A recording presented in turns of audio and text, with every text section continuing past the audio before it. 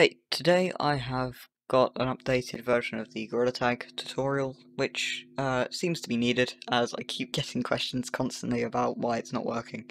So here you go. Uh, if you have any questions about anything I say today, there is an FAQ in the description and in the pinned comment. So make sure you read through all of those before you comment because I don't have time to reply to everyone's comment. Sorry. Uh, if you have any other questions that I don't have in there, I've also got a link to the Gorilla Tag modding Discord down there too. If you're banned from there, I can't help you. I keep getting that question too, why am I banned? I don't know. I can't help you. I don't know Discord, I'm sorry. Anyways, let's get into it.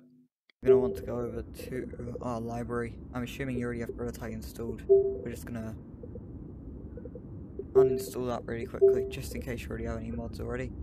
And install. This will only take a few minutes.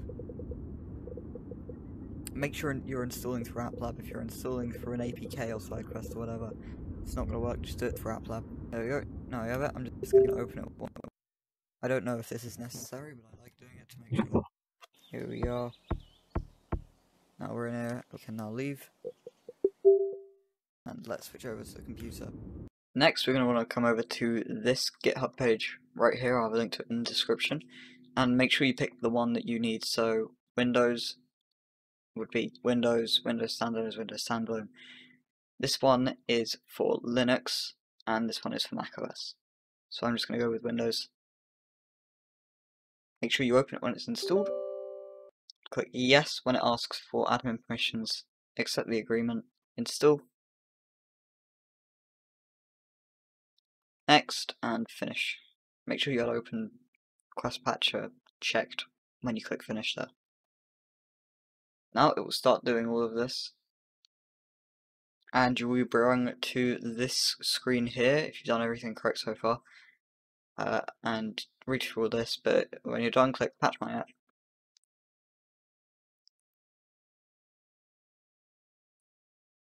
So as you can see I've already got a few mods from before, I'm going to go and uninstall all of these really quickly because they're all old. You should do the same if you also have old ones. Make sure you also clear out your cosmetics. Again, I don't know if this is necessary, but I'm doing it to make sure that there's no compatibility issues between versions and whatnot. Next, we're going to want to go over to Discord. Now, I've got a link in the description. It will be underneath the GitHub link to link to the Gorilla Tag modding Discord. If you don't have access to that because you got banned or anything like that, I have no clue how to help you. I don't own a Discord, I'm sorry. Now that we're in here, we have access to all of the mods that are currently available for the new version of Gorilla Tag. I'm going to get the important ones such as Monkey Computer. As you saw just there, all you have to do is click download and it will instantly bring you to this. If for whatever reason it brings you to the GitHub page, all you need to do is look for the releases tab on the side, click on that, download the QMod. Now that we have the mod on our computer we can just drag it and drop it inside of Quest Patcher, wait for it to install everything, and if it's not enabled by default, make sure you go and enable all of those. Now, as there was an update yesterday, or day before, there isn't many mods available, so just bear with the Discord. They will eventually get all the mods you want back. But not all of them. Uh, if a mod gets abandoned, then it will not be updated anymore, there's nothing you can do about that.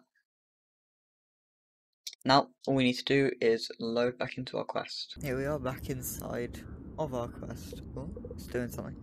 Uh, and as you can see, Gorilla Tag now has this little uh, icon in the corner, and it says unofficial app. Don't worry about that, it's just because you've modded it. When you click open, it will show a little pop-up that says restore app. Uh, don't click restore. I know it's big and blue, but don't click it. It just sets it back to being the old version of Gorilla Tag with no mods. And I think it sometimes even makes it so you can't load it up because of issues. So don't click restore. If you do, just uninstall it and go through this again. You're going to want to click open app. Click allow when it asks for access to things on your device. So I actually just had to go through and go through all of that again, uh, uninstalling it for whatever reason. Something went wrong, so I'm trying it again. Gonna allow everything again. And here we are, and we have our mods. Basically everything you need to know. All the mods that you want will become available over the next few days, because obviously there's just been an update. you can get the important one, which is this monkey computer. It helps you with seeing, you know, details. Anyway, hope this helped. Again, if you have any questions, there's an FAQ in the description, and I'll also leave it in the pinned comment. And if the question you have is not in there, either look at the article that I have linked at the bottom of the FAQ or join the Gorilla Tag Modding Discord. Again, if you're banned from there, I can't do much about it. I've got a lot of people saying that they were banned from it. I, I don't know how to help you. If you're banned, you're banned. It's kind of how bans work. Anyway, thank you for watching. I will see you later.